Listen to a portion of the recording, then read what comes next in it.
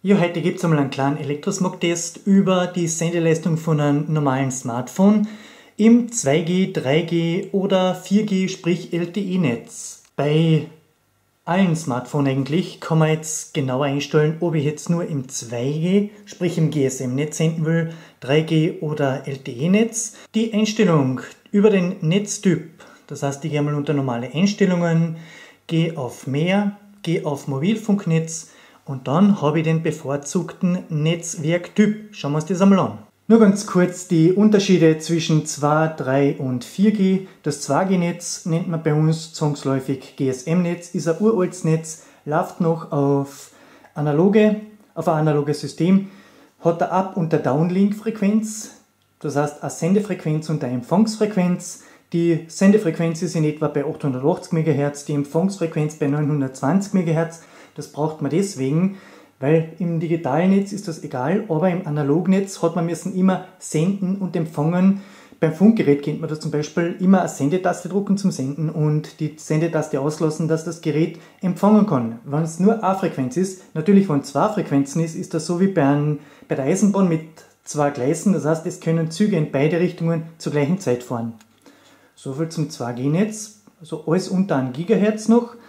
Dann haben wir das UMTS-Netz, genannt 3G, läuft in etwa bei 2 GHz, pulsierend, das heißt, es ist schon alles digitalisiert.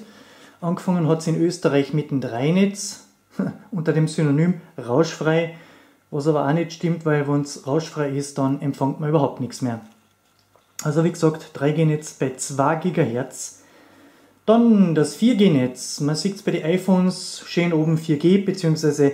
Bei den Androiden steht oft einmal oben LTE-Netz, wenn dieses Netz äh, vorhanden ist und eingebucht ist. Das läuft jetzt auf 800 MHz, auf 1800 MHz, auf 2100 MHz und 2600 GHz zum Messgerät jetzt selber. Das ist ein Gigahertz Solution Hive 38B.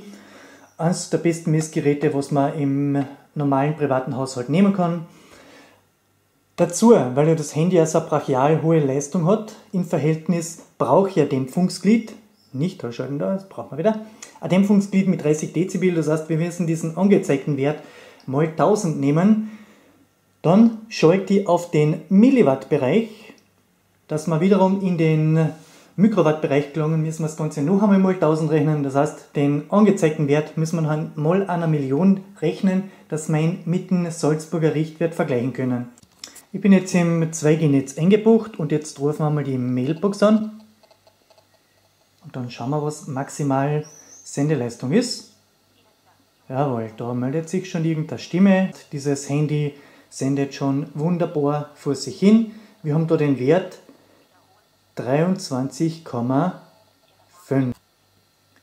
Ich stelle jetzt mein Handy um auf das 3G-Netz. Buche mich im 3G-Netz ein. Mhm. Löscht das Messgerät bzw. den Messwert des Messgerätes und ruft noch einmal die Mailbox an. Und geht schon dahin. So, wir haben jetzt einen Spitzenwert von 1,1 bzw. 1,2. Ja, dann messen wir mal, wie das Ganze im LTE-Netz ist. Und zwar halt das verkehrte Knopf. Da muss ich auf, ich habe jetzt ein LTE eingestellt, dass man es da sieht. Gehen wir auf Abbrechen außer und dann die Mailbox. Das heißt, ich habe jetzt 0,03 Milliwatt gehabt.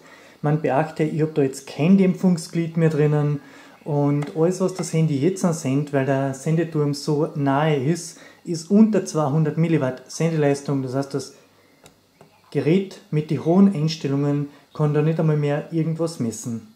Kurz zum Schluss noch ein Fazit von mir. Wenn ihr was telefonieren dürft, dann schaut möglichst, dass euer Handy auf LTE geschalten ist, weil im LTE-Netz sendet euer Handy maximal 200 Milliwatt. Das GSM-Netz wiederum sendet bis zu 2 Watt. Das heißt, wenn man es umrechnet, 2000 Milliwatt, was ja die zehnfache Strahlendosis bedeutet. UMTS wiederum schaltet zwischen 150 mW und 250 mW um. äh, ist aber nicht so effizient mit der Bandbreite. Ein kleiner Tipp von mir, das heißt, schaltet jetzt bitte das Handy aufs 4G-Netz, auch beim Telefonieren und schaltet die ständigen Datenverbindungen aus. Außer ihr braucht es natürlich für WhatsApp und Facebook und wie der ganze Schmumpf immer hast.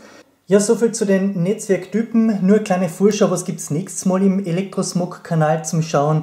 Ich habe jetzt ein Billigmessgerät aus Chinesien bestellt, was super common ist, kostet in etwa 20 Euro plus minus. Dann habe ich ein Billigmessgerät von der Firma ELV gekriegt, beziehungsweise gekauft, weil kriegen ich ja eh nichts. Darauf schaue ich ja ganz wichtig.